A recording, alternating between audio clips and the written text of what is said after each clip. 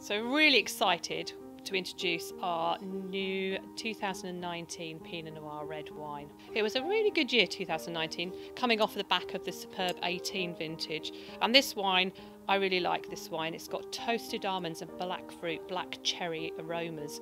But in the mouth, because of that lovely warm year that 2019 was, it has lots of lovely red fruits like strawberries and plums and red cherry. Really lovely subtle tannins in this wine as well. Hi, I'm uh, Michael Hayward. I'm the winemaker and production manager here at Bolney Wine Estate. Um, I'm here to talk about the Pinot Noir 2019. It was handpicked from our Bolney and Pookchurch sites. From there it was crushed um, into small red fermenters, uh, stainless steel. It has an open top which uh, allows uh, us to punch down by hand which uh, gets a sort of softer extraction, um, gives you greater control. Once ferment finishes we press them off and put them through malolactic fermentation. A portion of that we put um, into barrel and uh, age for about six months and then we blend that back into the, uh, the final wine that you're um, hopefully drinking today. Pinot Noir pairs really well with, with cheeses.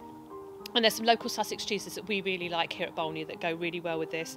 There's um, uh, local sheep's cheese, and there's cheeses like Manchego, obviously a sheep's cheese that goes really well with Sussex Brie, Brighton Blue, Stilton cheese, which is also very delicious with this wine. Sourdough crackers go really well as well, and um, cheese companions like um, the apple jelly you can get to go with cheese on crackers. It's great with this one. That apple notes come through really well. And also, if you want it with a meal, try things like pork and duck and game. It goes really, really well with these. And for vegetables, Pinot Noir seems to have a natural affinity with asparagus. It's really great with asparagus, and we love that. So we hope that you really enjoy trying this really superb vintage 2019 as much as we have.